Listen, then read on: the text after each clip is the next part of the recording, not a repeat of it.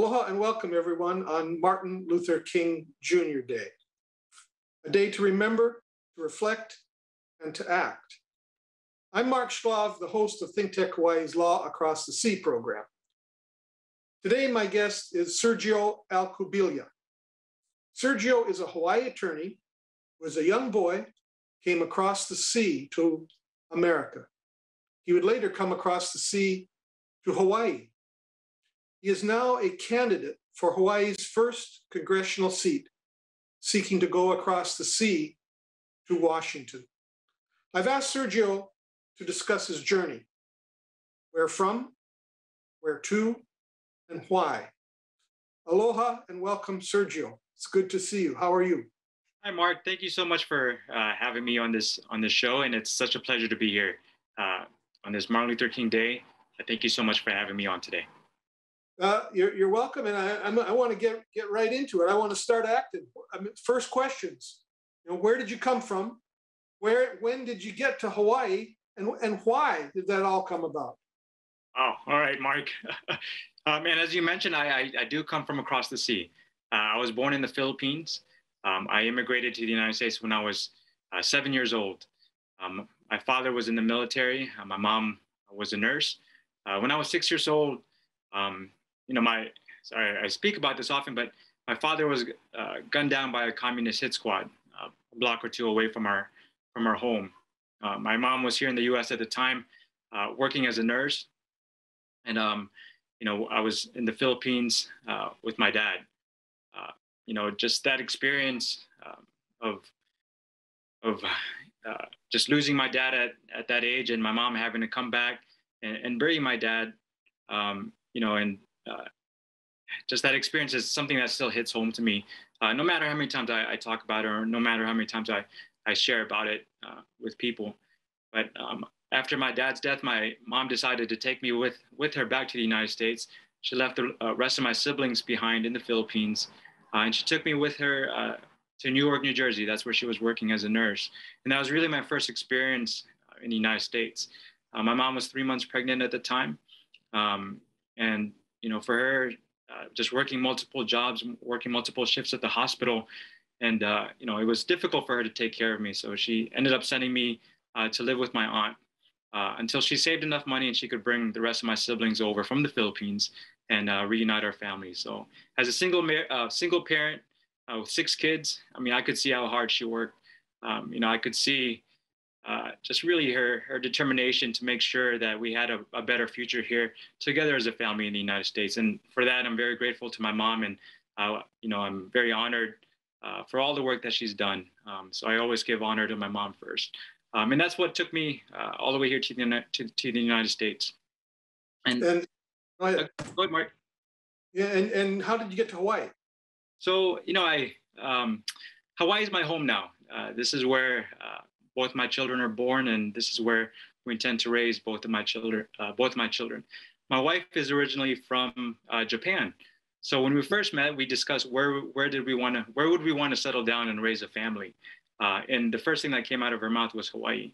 I just, you know, just the cultures and um, having the Filipino culture and Japanese culture uh, here so prevalent in the different communities here was just something that we wanted to raise our children in.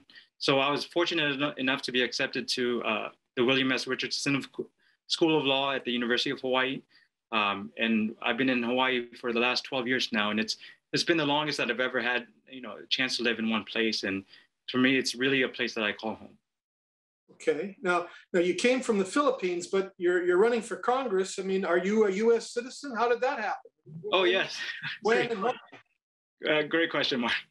Um, so my mom became a U.S. citizen when I was in middle school.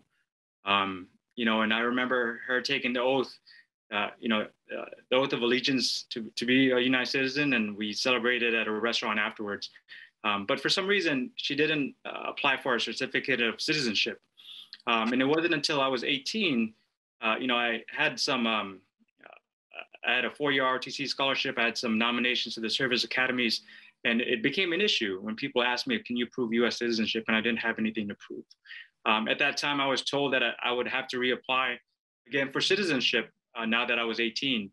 Um, just in hindsight, of course, if I had spoken to an attorney I could have resolved the issue rather quickly.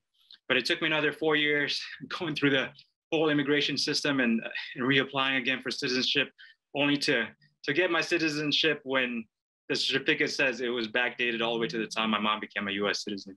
But wow. you know, just that experience, I don't take it for granted now, and uh, you know, I take my responsibility as a U.S. citizen uh, very seriously. You, you've had a lot of, uh, I guess, stressful experiences in your life, uh, starting as a young boy. Uh, and and I want to ask you, you're, you're running for Congress. Is is that personal background a benefit or is it a detriment for your run to Congress? So why? Mark, I, I, definitely believe it's it's a benefit. I mean, just having these lived experiences of knowing firsthand what our working families are going through, what immigrant families are going through, or working class families are going through. I believe that experience, you know, coupled with with uh, you know my work experience, it provides greater insight. Uh, you know, these are the type of voices and insights that we can use in Congress now. Um, I, you know, I feel like there's not too many people in Congress that can say, they have the same experience that I have, the same struggles that I have that I would know. Um, and this this experience is what would make me become a better legislator. Yeah, it's it's uh, really life life experience. You've had a lot of that now, but you but you went into law uh, as a career initially. You went to law school. What what why did you do that? And what have you, what have you been doing as a lawyer? Yeah, so you know it wasn't really until uh, my first year in the community college that I had an English professor, um, you know, saw my love for reading, saw my love for learning, and, and just say, hey, why don't you consider becoming an attorney? Um, you know, and just coupled with my experience through the whole immigration system, it, for me, it made a lot of sense. Uh, so I've had the privilege of, uh, since my second year of law school, I was working at the Legal Aid Society of Hawaii as an AmeriCorps member. Um, and I was tasked with the responsibility, responsibility of working with our judiciary and with our bar to establish uh, court self-help centers, the Honolulu District Court um, Self-Help Center. And you know, my second year or my third year of law school, uh, I was hired to be part of the management team as the director of external relations. So my focus was really on overseeing the programs and projects that that tackle the issue of access to justice, um, from disaster relief clinics to establishing court self court self-help center statewide to just providing a way for people to be able to get legal help uh, that's really been where my focus was at, at Legal Aid. And uh, just this past year with the pandemic, with my children being at home, I ended up uh, stepping down from that management position and taking uh, a position as a as an intake staff attorney, whereas really kind of the first the first line of help that people got, uh, you know, in dealing with landlord tenant issues and dealing with unemployment insurance issues uh, during the pandemic. And it was just it was one of those experiences when you're the first person that they call for help that that still sticks to me today it, it, it sounds like your life experiences have kind of directed your professional career also so far. Well, that brings us, you know, to why are you running for Congress? I mean, you you you do have a lot of legal background and work and helping local people, but why are you running for Congress? And again, Mark, as I mentioned, it's just really my life and work experience. It provides this greater insight uh, you know, Congress for me, I mean, it's at the national level, but my experience here locally and pushing for things like raising the minimum wage and you know pushing for for things to help unemployed workers a lot of those frustrations that i experience here uh, you know in trying to get our, our local elected officials to pass some of these things you know i realize that some of these some of these solutions we can also push for at the federal level. Um, you know i i don't i don't come from money. I don't come from from you know uh, life of privilege or, or power but really that frustration where your everyday working people on the street you know can't get a meeting with their legislators uh, because they don't have those same connections. I think for me that frustration is really just what inspired me or just to look more into into running for office. I initially wanted to run for the uh, open lieutenant governor position and i wanted to use that platform as an advocacy platform for some of these issues. But you know, the more that I spoke with people and you know, from people in the community asking me to consider running for Congress instead, I, I, I looked at it, gave it a, gave it a lot of thought, and you know, just just seeing our, our current uh, incumbent now, and even though we both have uh, legal backgrounds, we just completely come from different different uh, worldviews, and uh, I just believe I can do a better job of representing our constituents better. Well, I, I kind of I want to go into that now. You know, you know, you mentioned uh, local versus national. And uh, so I, I want to know what experience can you bring to the national office? What what what can you bring to that one? And then you talk about the differences between you and Ed Case. My second question is, you know, what are those differences between the two of you? He's the current first congressional district representative, uh, and I'd like to you, you to, to, to focus on those two questions. Yeah, thanks, Mark. You know, I just saw this um, statistic the other day that said uh, 70% of the Democrats elected in Congress in 2016 never held um, elected office before. Um, I, I, think it's kind of just interesting that uh, I think there's this clamor for real people running for office, not career politicians. Uh, you know, not our professional politicians, but you know, whether you're a teacher, you're a doctor, uh, you, you know, you're an attorney, uh, someone that's been from the community and is coming from the community uh, to represent us in Congress. So for me, I feel like that that provides a unique voice, um, you know, at the national level. Uh, you know that we need more of those type of voices in Congress. Um, you know, we need more of those type of voices uh, in the halls of power where decisions are being made. Well, so uh, go, go on, go on. And I was just going to say, you know, the difference between me and Representative Ed Case. I, you know, I don't know Representative uh, Case personally, but you know, just we, we, we represent just different sides. Uh, you know, I represent more of the public interest community side, and you know, that's just that's really where my heart is, and that's that's the type of voice that I want to bring to office. Okay, all right. So, next question. You, you mentioned this a little bit. What you know, what do you what would you do better than Ed Case? Mm, I mean, it's it's providing a better understanding of uh, how legislation, how rules and laws in Congress they impact your average uh, Hawaii resident. You know, from our children to our seniors. I mean, I know these things firsthand uh, from my work, and I know it from my from my family history. I mean, just listening uh, to the needs of the district. I feel like um, you know, there's real world implications, for instance, on Build Back Better. There's real world implications that can help so many families here in Hawaii if that, you know, if the Build Back Better bill would, would pass in its full form. Um, you know, Representative Case made the argument in 2018 that he has the political experience, um, uh, and that's why he deserves to be back in back in Congress. But you know, for me, it it just shows that it's not just political experience, but it's really having a heart to serve people and it's really understanding what people are going through. And I think those are the guiding principles for me that are, that I'm going to use in Washington. So I hear what you're saying is that your life experience versus political experience is what you feel gives you a better insight, better advantage, and the ability to see people on the street. Whereas that's eh, what is not currently there. Is that, am I seeing that correctly? Yes, Mark. You know, I, I served, um, I spent a term at our local legis, legis at our state capitol here, uh, a semester in law school, and I just saw kind of the games that people were, political games that people are playing. Um, you know, and, for me, it's it's pretty upsetting to see that because it's we're dealing with people's lives. We're dealing with with real issues that impacts people all across the state. And to me, it's really not a game. Um, you know, and I, I, I, take that kind of seriously. Uh, I take that really seriously.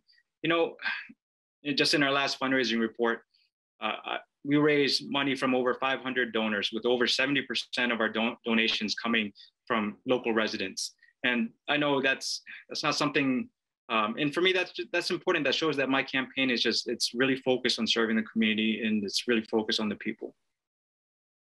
Okay, well, you know, you, you talk about uh, life experience and uh, experience in government or, or politics. How can you, looking at the current situation, how can you win the election against such a well-known incumbent who knows the political system so well? Yeah, and yeah, that's a great question, Mark. You know, in in uh, in 2018, again, I, as mentioned, Representative Case uh, came in the last minute and and beat out um, you know five or six other candidates just based on name recognition alone. But I feel like now, you know, times have changed. I feel like it's not so much just name recognition. You know, when I go out and speak with with voters and I go out and speak, uh, you know, to people in the community, there's just this sense of frustration, um, you know, that people have with with with politics in general and, and with politicians in general. Uh, and you know, I, I, understand Representative Case may definitely outraise me in terms of money, but at the end of the day, it's going to be people that vote. Um, you know, and it just sharing with people sharing their networks, their family and friends, and saying, "Hey, we have a better choice uh, for Congressional District One this time." You're, you're, you're, you're trying to get your message out, and and one of the things I've heard you say is that you want to give voice to working families. Well, all right, uh, here's your chance. What policies and actions will that voice articulate and manifest if you get into office?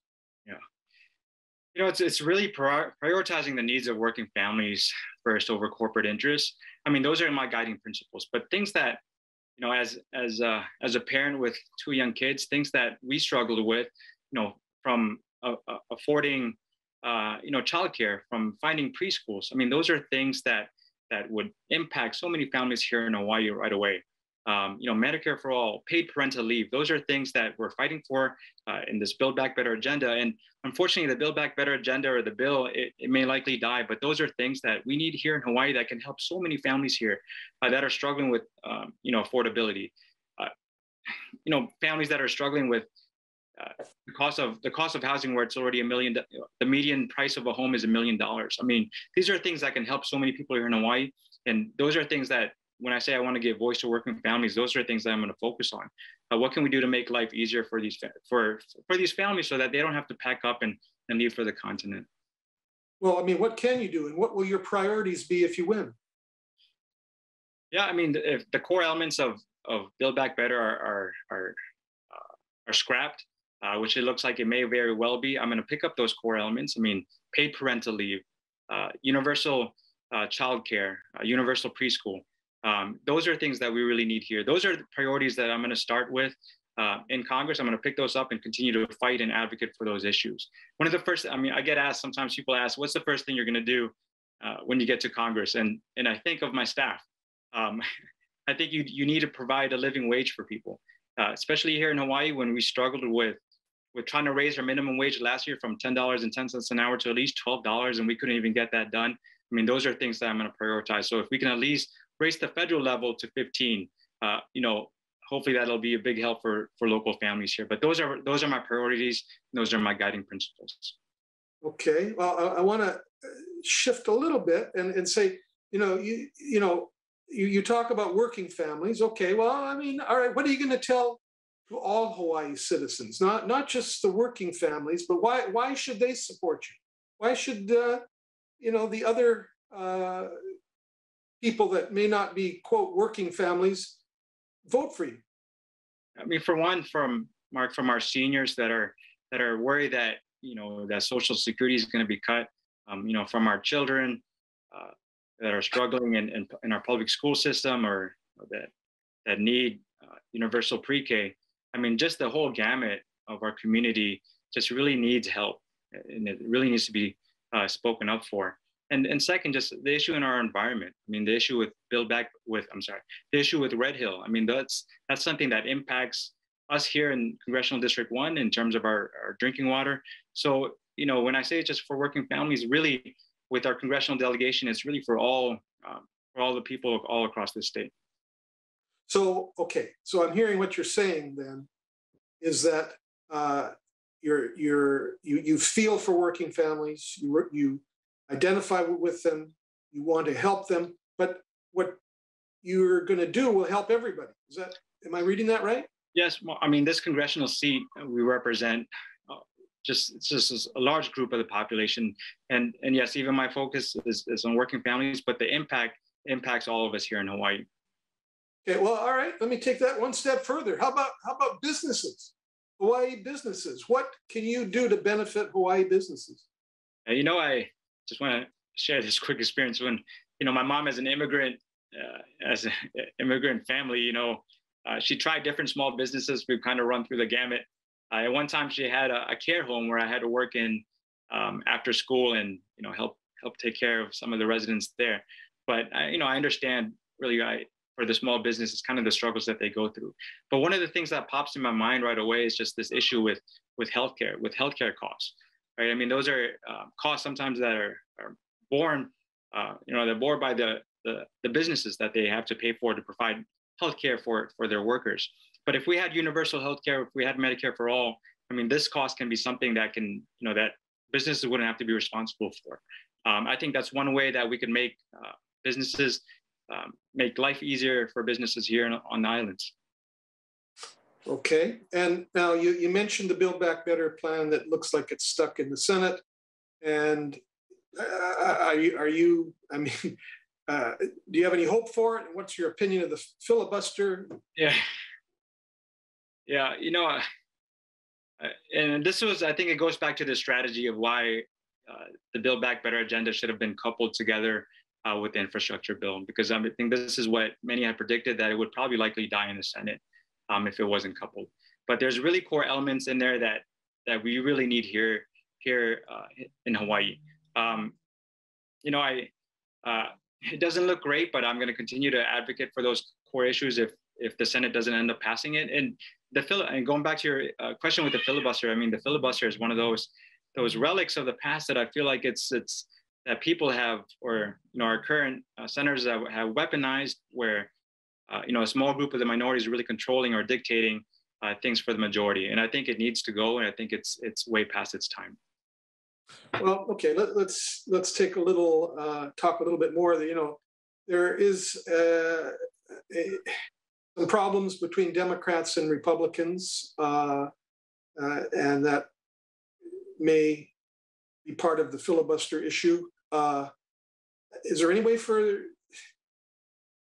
both parties to come together or get along with each other? Is there a way to break down those political barriers? Do you have any thoughts about that? You know, I, am a optimist. Uh, I'm really an optimist. You know, as an immigrant to this country, I have a lot of hope for this country. Uh, you know, I see this country really as that, um, you know, as that call to action, this that social experiment to, to be that city upon a hill. Um, you know, I'm, and I still have a lot of hope in this country, and and I, I hope, you know, this is something that we can we can get through, whether you're Democrat or Republicans. You know, on this Martin Luther King Day of Service, I think of the Civil Rights Act of, of 1964 that it took really both sides, both parties to come together to move this country forward. And my hope is still that that you know besides beyond um, you know whatever pol- pol- uh, political party you come from, that you you really see the vision of what this country can be what it, represent, and what it represents to the rest of the world, and that we can come together to move this country forward. So I, I still do keep hope in that, um, Mark. But you know, every day I, I, you know, I wonder when some things such as common sense things like the Voting Rights Act, are, you know, it's it's being filibustered, filibustered. So I, I do worry that you know our democracy is in peril. Well, okay. Let me ask you a question. We actually got a, a, a viewer question. Uh, how do you see the state of our democracy based on January 6th and the rise of Trump Republicans and voting rights, et cetera? What, what, what is your view of, of the democracy of our country? Are, are we in trouble? Yeah, you know, voting rights, I mean, just the right to vote, I, I feel like it's at the very core of, of our democracy. Um, and when I look back to January 6th, a year ago, one of the things that made this country special was our tra- peaceful transition of power, right? That, you know, whether you were part of the losing party or you were whether, uh, or whether or not you were the president, you know, that, that didn't win, that for the good of the country, you could move this country forward by transferring power in a peaceful way. Um, you know, I think of other countries, I especially think of my home country or my birth country of the Philippines, and just think of the issues, what happens when that's no longer in place.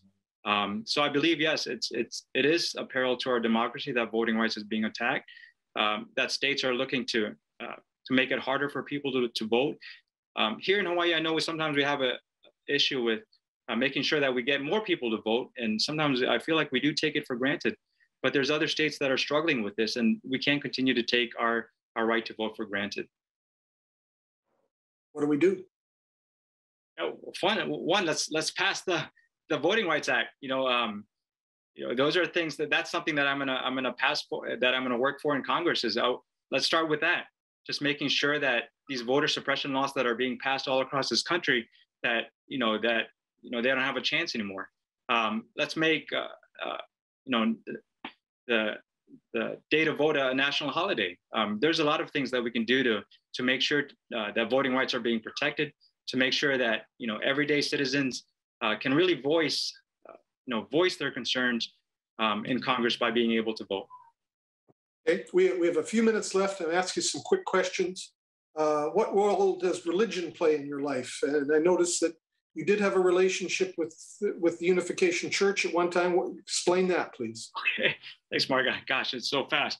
Um, you know, I right out, I'm I'm a I'm a man of faith, um, not so much religion, but faith. You know, I believe in the spiritual aspect of of humanity of our humanity. Um, pray, you know, prayer helps me at the beginning of my day and helps me at the end of my day. But in terms of politics, in terms of um, religion's role in, in, in, our politics, I believe our framers made it clear in the separation of, of church and state. Um, and I believe firmly in that. Uh, yeah. Go on. I, I wanted to ask you about, you know, it's going to come up. What is the Unification Church? Are you involved in that? Yeah, I consider myself a, a Christian Catholic. Uh, I've always considered myself that I was born Catholic, and um, you know, I, I, I, still go to mass. Um, but you know, the issue. So I attended uh, the Unification Theological Seminary, and really, what it was, what what drew me to it, was just this concept of interfaith work, especially after 9/11. I was a senior in college when 9/11 happened, and you know, the thought that crossed my mind is, what can we do to prevent something like this from happening again? And what drew me really to um, the unification, uh, I called it the unification movement, was mostly its its projects, its its projects and programs that promoted community service as a path to peace, and really looking at interfaith work. Um, but uh, you know, that's uh, for me. That's really what drew me to it. But I, I consider myself, and I still do, uh, Christian, Catholic. Okay. Now, um, this kind of follows up on those points you made. What what are what uh, words of live words to live by do you wake up with every day, and what can you share with us about your core values? Mark, it's it's really just an attitude of gratitude. You know, to wake up every day and just be thankful uh, that you have another day to do something. Just to end the day to be thankful. Um, you know that you had experiences with your family, with your loved ones. Uh, you had experiences with your community. Uh, you know, I, I, sometimes it's hard, especially during this time of the pandemic. But those are things that uh, just the sense of gratitude. I'm grateful um, that you know, as a seven-year-old kid, that came to this country raised by a single mother with six kids, not knowing how to speak English, that I can stand here now and, and talk to you, Mark, about running for Congress. So it's, it's uh, my heart is full of, of, gratitude. And just second, it's just, it's a heart of service. It's a heart to give back. Um, you know, I've been very blessed by family and friends that helped us along the way to get me to where I am today. And I simply want to give back and pay it forward. Uh, and, you know, as we speak, uh, it's the, the day of service for Martin Luther King Day. Oh, okay. And and you, you mentioned the pandemic going through it. How do we get back to normal? We have a minute left. How oh do we God. get normal during and after the pandemic? What, what's your advice? Mark, it's, it's going to be hard. You know, as um, as someone that lost a loved one during the pandemic, um, I know the impact that it's had on so many people. Uh, just the frustration with my kids being at school and me having to stay home and help them with online school. Uh, I know it's going to be hard. But what we can do now is get vaccinated, wear your mask. You know, if those are the steps that'll help bring us closer to, to normalcy, let's do it. Let's not make it an issue. Let's not make it a political issue. Let's just let's just do it so we can get back to normal. So, and that's a, a general advice for the good of everybody, is what I hear you saying. That's smart. Okay. Sergio uh, Alcubilla, thank you very much for being my guest today. I uh, enjoyed our, our discussion. I know it went fast, but we got a lot of lot across. So thank you, thank you, Sergio. Good good right. to talk. Yeah, thank you so much. That was probably the fastest 30 minutes in my life. So thank you so much. All right. Aloha, everybody. Uh, Take care. All across the sea.